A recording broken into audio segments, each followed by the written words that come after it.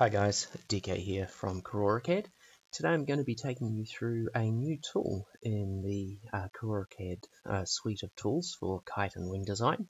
Uh, this is Karoro Ghost, which allows you to um, ghost uh, files that have been created in software outside of uh, outside of KaroroCAD. So this is uh, suitable for both kites and wings, and it's just a, a tool that allows you to convert sort of third-party geometry into, uh, into Ghost files. So to that end, I have Karoro Ghost open here. Uh, when you install the latest update of KaroroCAD, you will get uh, a new there will be a, uh, a new drop-down menu installed with uh, Karoro Ghost. Uh, sometimes this may not come through on the initial install. Um, it's just some weirdness with uh, with Rhino. If you don't have this uh, uh, this menu item here.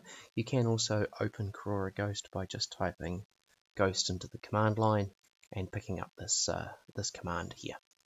So uh, with this uh, with this open, what I'm going to do is open a um, 3D DXF file. So this is a, uh, an export out of some other software.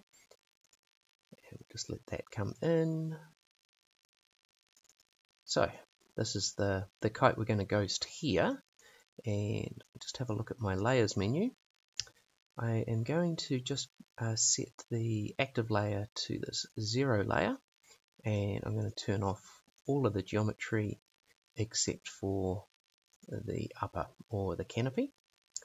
So with that uh, open, I can click on this canopy button and uh, Rhino will ask me to select the canopy and just hit return and we'll just get that blue shade come up which uh, indicates that this has been selected correctly.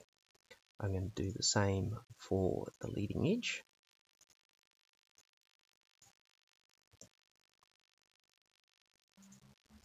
And the struts. And finally, uh, there's this additional geometry which in this case I want to uh, bring in the bridle.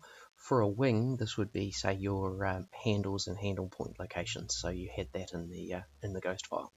So simply matter clicking the additional geometry, selecting those items, and uh, they're all now imported or all ready to export as a uh, ghost file.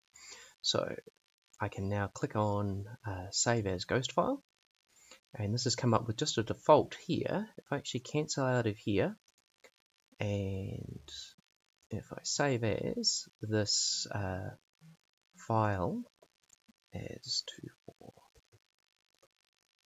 with my, my prefix in front of it, if I save this as a 3DM file and now hit save ghost file, this will actually uh, pick up that file name with the ghost suffix.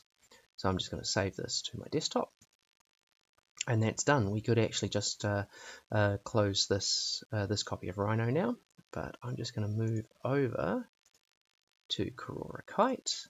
And if I now go to my compare menu, I can click on Open Ghost, and I can find this ghost file.